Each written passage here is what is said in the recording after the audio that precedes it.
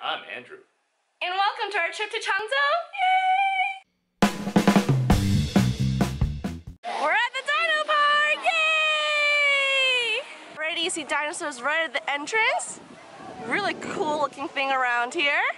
And there's like a cute little cutout thing there smoking a cigar. Ah, look at this, this is so cool! Ah! And dino eggs with little baby dinosaurs on the inside. This is so cool. This is a pretty cool looking place. Look at that. It's super well. Yeah, the theming is really cool. Oh, it's a. Oh, it's wizard! what do wizards have to do with dinosaurs? Maybe that's the reason why they went extinct. It's the wizards. It's the wizards. This place feels, the entrance feels a lot like Universal Studios, where you have to walk through a whole thing before you get there.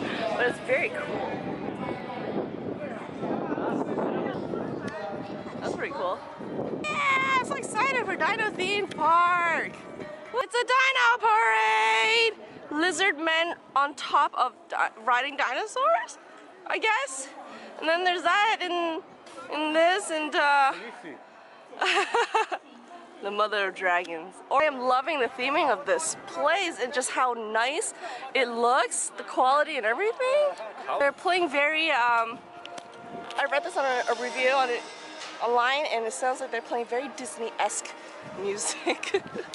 I take that last statement back. It is actually Disney music. I just heard something very, it's actually just Disney music that they're playing. Got our tickets and we are now in.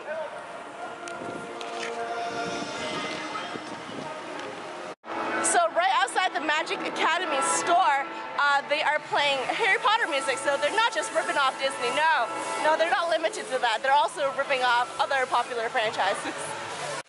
Wow, this area is actually pretty cool. It's called Kukasuka.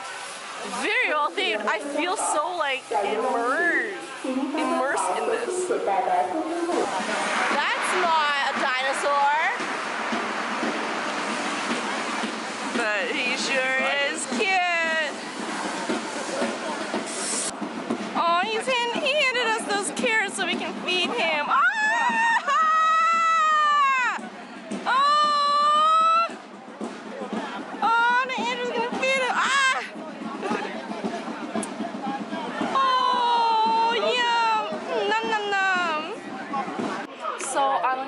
Low days, uh, what Chinese what Chinese parks like to do is um, they'll just kind of like stagger ride time. So right now we have to, even though there's nobody on the ride, nothing is being loaded. We still have another 10-15 minutes to wait until the next ride is loaded.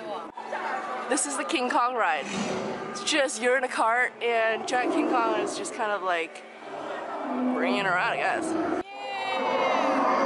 So that was kind of uneventful. Uh, the ride operator told us that it's gonna shake harder and harder, and it never really did. It was just kind of like moving slowly, slightly. King Kong was very polite. I think it was because the skipper was like, all right, now the car is gonna shake more violently. Please be brave, everybody. Yeah, she was telling everybody to be brave. You need to be brave for this. In such monotone voice. Yeah.